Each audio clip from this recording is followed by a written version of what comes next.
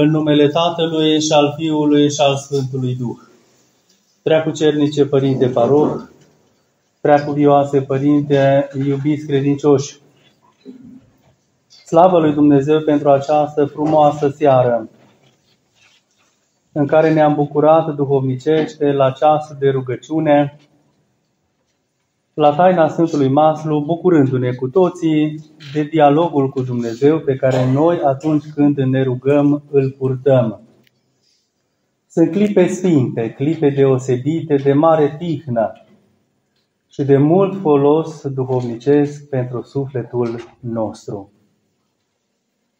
Cuvântul meu din această seară mi l-aș începe cu un text pe care l-am auzit cu toții citindu-se la, tra- la strană, în rânduiala tainei Sfântului Maslu, este vorba despre prochimelul care se citește înainte de apostolul al șaselea din rânduiala tainei Sfântului Maslu, prochimen care este preluat textual din Psalmul 50 și care spune așa Miluiește-mă, Dumnezeule, după mare mila ta, și după mulțimea îndurărilor tale, șterge fără de legea mea.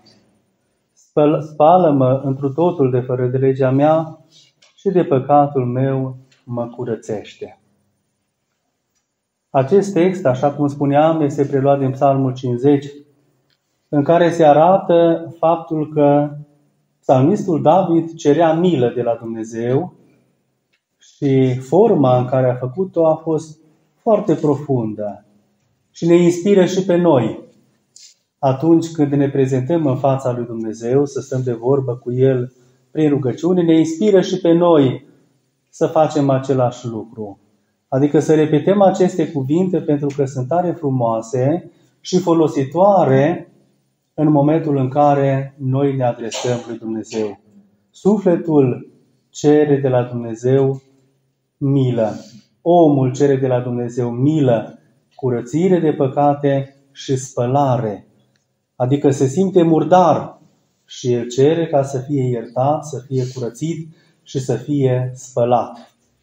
Dacă ne gândim bine, meditând la Psalmul 50, la un moment dat, vom mai da peste câteva cuvinte pe care țin să le punctez în cuvântul meu și care sunt foarte importante. Pe la mijlocul Psalmului 50 apare textul Inimă curată, Zidește într mine, Dumnezeule, și Duh drept înnoiește într cele dinăuntru ale mele. Nu mă lepăda de la fața ta și Duhul tău cel sfânt nu lua de la mine. Auziți ce interesant, ce cuvinte minunate. Noi cerem în rugăciune lui Dumnezeu când stăm de vorbă cu El, iată, ca Dumnezeu să zidească într noi inimă curată. Oare poate fi zidită inima? Da, în ea se clădesc simțăminte sfinte, simțăminte alese, trăiri frumoase în cele ale lui Dumnezeu, în cele divine. Și în ea putem clădi tot binele, care pentru noi este de mare folos. Ba mai mult nu zicem, nu mă lepăda de la fața ta. Iată, putem fi conștienți de faptul că ne aflăm în fața lui Dumnezeu. De aceea noi venim la Sfânta Biserică, care este casa lui Dumnezeu, și ne prezentăm în fața Lui și cerem nu în rugăciune ca El să nu ne lepede de la fața Lui. Ba mai mult, îi cerem un lucru foarte important de știut. Duhul Său cel Sfânt să nu îl ia de la noi, adică să lese într noi. De ce este important? Și aici aș vrea să uh, punctez puțin aspectul acesta al prezenței Duhului Sfânt în viața noastră. Este necesar să fie Duhul Sfânt în noi, pentru că prin El omul se va mântui. Prin El va afla multe lucruri, prin El va ajunge să cunoască care este voia lui Dumnezeu, să, să îi se lumineze mintea, să îi se clarifice multe aspecte ale vieții în existența lui pământească. Vedeți, la un moment dat, Mântuitorul Iisus Hristos, în Sfânta Scriptură, le-a vorbit apostolilor despre faptul că va pleca la ceruri și după ce va pleca, după ce se va înălța și se va așeza de-a dreapta Tatălui, spune El, alt mângâietor vă voi trimite vouă de la Tatăl. Duhul adevărului care de la Tatăl purcede, și care vă va învăța pe voi toate. Deci când se pune problema ca noi să învățăm ceva din punct de vedere duhovnicesc, în folosul, în evoluția noastră duhovnicească, în vederea mântuirii, această învățare, această luminare o săvârșește Duhul cel Sfânt. El este Cel care ne înțelepțește și ne învață pe noi toate. Cu de la sine putere nu putem face lucrul acesta. De aceea, ca să putem fi învățați de Duhul Sfânt, să putem fi înțelepțiți de El, El trebuie să fie în noi, să-L avem în noi. Fără El, viața noastră este seacă, searbădă și suntem întunecați dacă nu avem în noi Duhul Sfânt. În schimb, când îl avem, suntem luminați, suntem învățați de El. Ce să facem? Cum să procedăm? În ce formă să trăim? În ce fel să ne rugăm? Cum să viețuim pe pământ ca să fim bine plăcuți lui Dumnezeu? Și acum, dacă Duhul Sfânt este prezent în om și îl învață pe om cum să trăiască, omul dacă trăiește prin prezența Duhului Sfânt și cu binecuvântarea prezenței Lui în el, omul acesta rodește. Mi-am început, nu, cuvântul meu cu prochimenul din Apostolul al șaselea, tocmai pentru faptul că urmează după acest prochime să se dea citire unui text care este extraordinar de frumos în care Sfântul Apostol Pavel, din epistola către Galateni, vorbește și lămurește aspectul acesta al lucrării Duhului Sfânt. Părinții bisericești spun la un moment dat că scopul vieții creștine este dobândirea Duhului Sfânt. Unul dintre părinții bisericești, Sfântul Serafim de Sarov, spunea acest lucru și în sentimentul lui cu toții părinții bisericești spuneau lucrul acesta că scopul, repet, vieții creștine pe pământ este dobândirea Duhului Sfânt. Și dacă psalmistul David cerea ca Dumnezeu să nu ia Duhul Sfânt de la el, dacă Dumnezeu, Mântuitorul Iisus Hristos, ne spune că după înălțare ne va trimite pe Duhul cel Sfânt de la Tatăl, care de la Tatăl purcede, noi trebuie să avem această preocupare ca în viața noastră El să fie prezent. Și dacă este prezent, acum referire la epistola către Galatenia Sfântului Apostol Pavel, din care am citit în rânduiala tainei Sfântului Mastru la Apostolul al șaselea și care arată faptul că atunci când Duhul Sfânt este în om prezent, omul acesta rodește niște lucrări, niște lucruri frumoase. Tocmai pentru că prezența Duhului Sfânt din el îl face pe om ca să poată rodi aceste lucruri.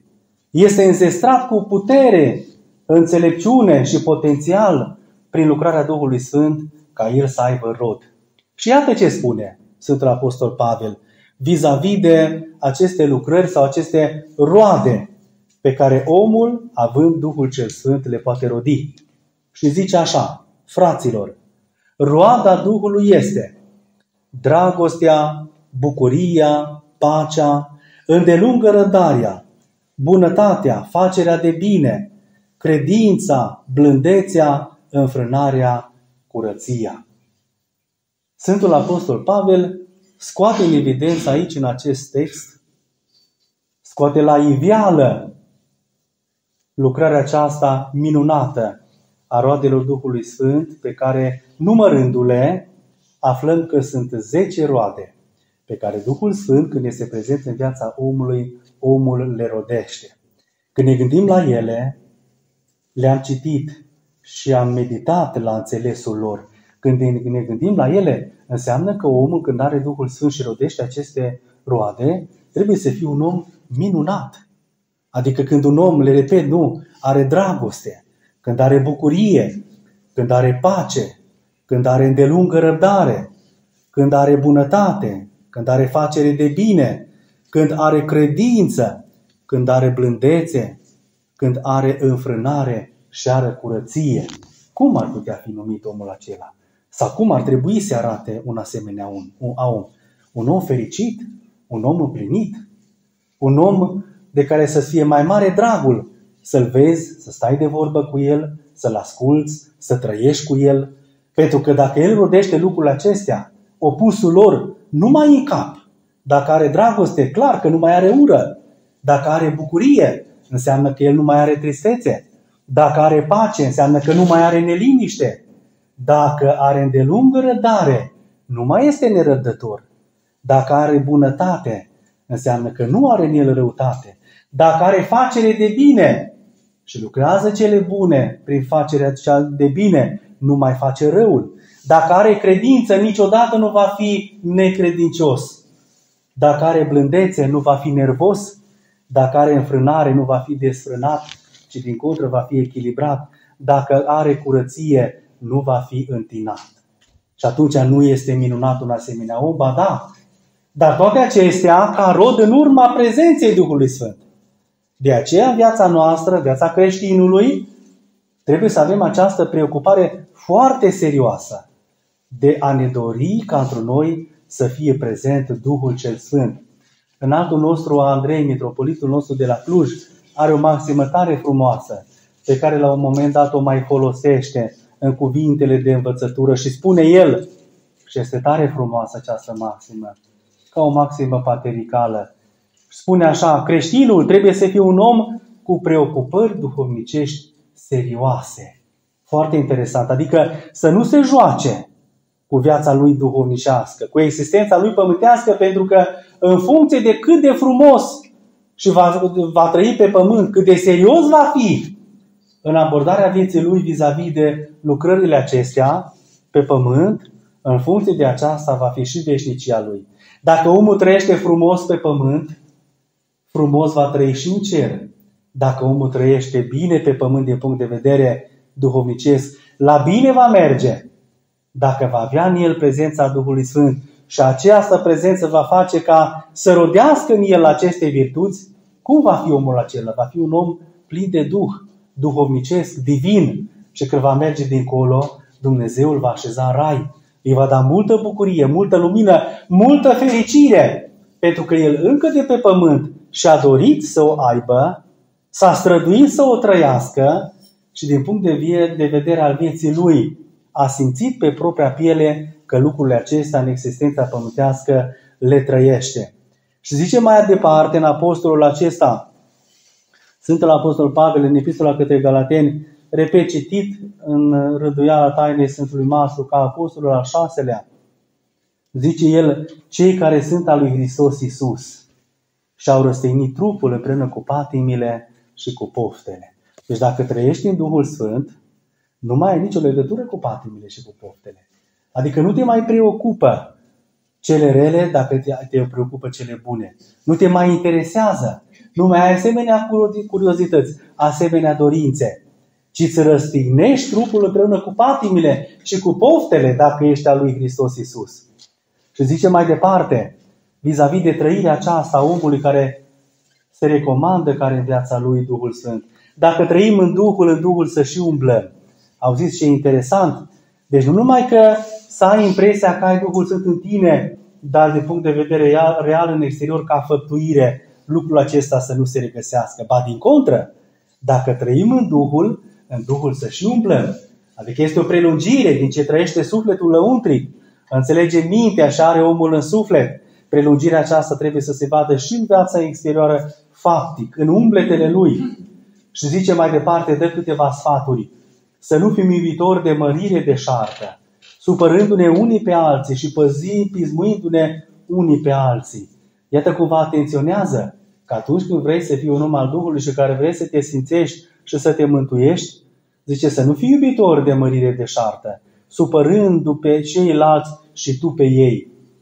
Și pismuindu-se, pismuindu-ne unii pe alții. Adică oamenii aceștia n-au voie să se invidieze și să se pismuiască unii pe alții. Și apoi iată un alt sfat frumos. Zice, fraților, chiar dacă va cădea un om în vreo greșeală, adică omul acesta al Duhului când se întâlnește cu oameni care cad în greșeli, care poate sunt mai neputincioși, care sunt din punct de vedere al pătimirilor, al patimilor mai vulnerabili și mai slăbănoci în fața ispitelor și a tentațiilor. Care trebuie să fie atitudinea omului care are Duhul în el? Zice mai departe, nu, fraților, chiar dacă va cădea un om de o greșeală, voi cei duhovnicești, îndreptați-l pe unul acesta cu Duhul blândeții. Iată ce atitudine trebuie să aibă. O atitudine a blândeții. Luând seama, auziți, ne avertizează să fim priveghetori, luând seama la tine însuți să nu cazi și tu în ispită. Adică tu când vezi pe cineva că cade, trebuie să fii atent, să-l oblojești cu atenție. Adică să-l ajuți, să-l sprijini să se ridice, nu mustrându-l, nu pismuindu-l, nu comportându-te urât, ci cu multă atenție, cu Duhul blândeții, dar în același timp să fii priveghetor și trezvitor și tu. Luând seama la tine însuși să nu cazi și tu în ispită. Și încheie apostolul cu un sfat care merită să fie ascultat și practicat. Purtați-vă sarcinile unii altora și așa veți împlini legea lui Hristos. Iată aflăm în această ultimă propoziție din Apostolul al șaselea citit în rânduiala liturgică a tainei Sfântului Maslu, felul în care se poate împlini voia lui Dumnezeu, purtându-ne sarcinile unii altora. Nu zice, purtați-vă sarcinile unii altora și așa veți împlini legea lui Hristos. Vrem să împlinim legea lui Hristos, să facem voia lui Dumnezeu? Da, dorim cu toții. Cum vom reuși? Purtându-ne sarcinile unii altora. Purtarea aceasta a sarcinilor poate fi și pe tărâm fizic, când avem grijă unii de alții, când ne ajutăm, ne sprijinim din punct de vedere material, dar uneori este nevoie și de suport sufletesc. Când spui o vorbă bună, când rostești o rugăciune înaintea lui Dumnezeu pentru cine are nevoie și simți că are nevoie, îi porți sarcina lui sufletească, pentru că s-ar putea singur să nu și-o poată duce. Nici la nivel de gândire, ca minte, pentru că poate este depresiv, este întunecat la minte, este tulburat și nu înțelege anumite lucruri. Și atunci, cum îi porți sarcina? Te rogi lui Dumnezeu pentru luminarea minții lui, pentru deșteptarea lui, pentru înțelegerea în viața duhovnicească, pentru priceperea pe care el ar trebui să o aibă, sau din punct de vedere sufletesc al trăirilor. Te rogi ca Dumnezeu să-i dea o inimă uh, curată, să-i dea o inimă sfântă, să-i dea un suflet bun și atunci îi porți povara sufletească, îi porți sarcina a ceea ce el trăiește prin rugăciune dacă o faci pentru el. Deci îl poți și material ajuta, îl poți și mental rugându-te lui Dumnezeu ca să aibă minte luminată, dar îl poți ajuta și sufletește să dobândească o inimă curată, duhovnicească și chiar sfântă. Lucrurile acestea, iată, uh, prin minunata rânduială a tainei Sfântului Maslu, textele biblice puse ca rânduială după o bună așezare și după o bună rânduială ne îndeamnă să facem în viața noastră de zi cu zi. Deci, pe de o parte, că ne-am bucurat de atmosfera frumoasă de rugăciune, pe lângă faptul că împreună am citit texte, am cântat cântări și am trăit o, știu eu, un moment de clipe speciale, de tihnă sufletească, iată știm ce avem de făcut și după ce ieșim din casa lui Dumnezeu și reintrăm în programul nostru din viața de zi cu zi. Avem anumite repere, ca nu cumva prin faptele noastre să părăsească Duhul Sfânt prezența din noi, ci din contră să ținem cu noi și pe lângă faptul că îl ținem cu noi, să-i ajutăm și pe ceilalți care au nevoie de prezența Lui să o poată și ei face. Să ne ajute Bunul Dumnezeu la toți. Mă bucur tare mult că ne-am revăzut în această seară și vă mulțumesc din toată inima pentru atmosfera frumoasă de rugăciune și pacea și tihna și liniștea pe care o simt întotdeauna când particip la rânduiala de rugăciune aici, în acest loc minunat și binecuvântat de Dumnezeu. Amin.